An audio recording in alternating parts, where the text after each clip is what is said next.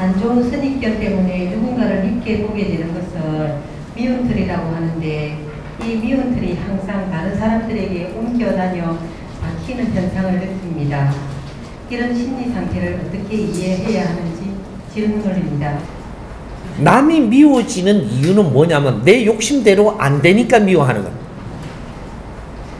내가 바라는 대로 내 욕심대로 안 되고 내가 보고 싶은 대로 안 보이니까 이것이 도가 넘치면 미워 보인다 이 말이죠. 어. 내가 보려 하는 대로 식견을 내 식견으로 보는 거예요. 그러면 남을 미워해집니다. 아, 세상 일은 네가 보기 좋은 대로 흐르게 돼 있는 게 아니고 내한테 어떤 환경이 주어지는 겁니다. 아, 이걸 이해를 못하면 내가 다른 방법으로 끌고 갈 수 있는 것이고 이해를 하게 되면 미움이 세상에는 단 한 가지도 있을 수 없게 돼 있습니다. 이해 폭이 얼마나 넓으냐면 내가 얼마나 질량을 갖추었느냐에 달려가 있습니다. 세상의 일은 0.1mm도 내한테 틀리게끔 운영돼 갖고 오는 법칙이라는 게 자연에 없다. 자연의 어떤 에너지도 세상에 필요 없어서 나오는 것도 없고 필요 없는데 그 자리에 온 게 없습니다. 자연은 그렇게 운영되는 거예요.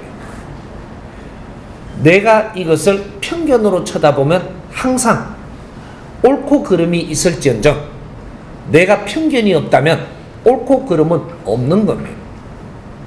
여기에다 쓰면 여기에 옳고 저기에 쓰면 저기에 옳고 이걸 어떻게 분별해서 쓰느냐에 달리가 있는 것이지 우리한테는 해롭게 오는 것은 단 한 가지도 없습니다. 그래서 어떤 거 판단을 할 때도 내 식견이 잘못된 것을 알아야지 남을 탓해서도 안 되고 미워해서도 안 되는 것이다. 원리는 그런 거다. 원리는. 근데 남을 미워하지 마라가 아니고 네가 모지르면 미워합니다. 어, 이거는 내가 모질해서 남을 미워하는 거지. 어, 네가 모질하지 않으면 절대 남을 미워할 수가 없게 돼 있다. 어, 여기 자연의 법칙입니다. 그러니까 요 답은 우리가 알고 앞으로 공부를 하면서 풀어나가자. 예.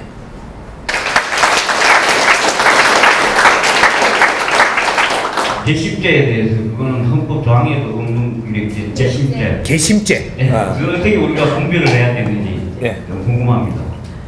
가르쳐 주십시오. 예. 개심한 거는 네가 개심한 거죠. 예? 개심죄는 없는 겁니다.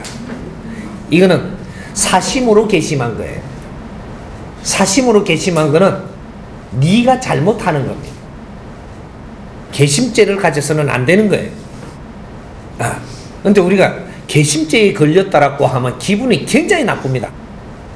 그건 죄가 아닌 걸 죄를 묻는 거거든. 근데 이 개심죄도 죄예요. 눈치껏 모낸 죄. 네? 사람이 눈치 코치가 있어야 되는데 언제는 눈치를 좀 이렇게 좀 가려야 되는데 안 가리고 막 달라들었으니까 개심죄가 걸리는 겁니다.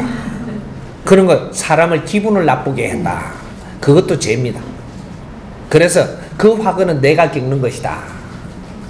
아, 개심죄는 있었어도 안 되겠지만 네가 상대를 성나게 만들면 그 학원이 돌아오는 게 개심죄예요.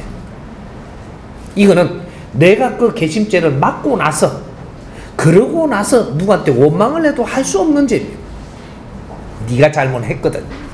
아, 그러니까 우리가 사람을 대할 때는 눈치껏 대해야 된다 이 말이죠. 아, 눈치껏. 아, 눈치 코치도 없으면 손해를 많이 줍니다. 그게 다 개심죄예요. 어, 그러니까 이걸 어, 아주 우리가 그 살아나가면서 이런 요령도 배우지 못했다면 우리 인간은 말이죠. 이럴 때는 요렇게 해야 되고 저럴 때는 저렇게 해야 되고 오만 법을 다 쓰고 살아야 돼. 음, 근데 내 고집이 세면 이걸 남을 화나게 하고 그게 화근을 내가 입는 게 이게 개심죄니까 아 이거는 내가 받아들일 수밖에 없습니다. 아, 그렇게 이해하면 됩니다.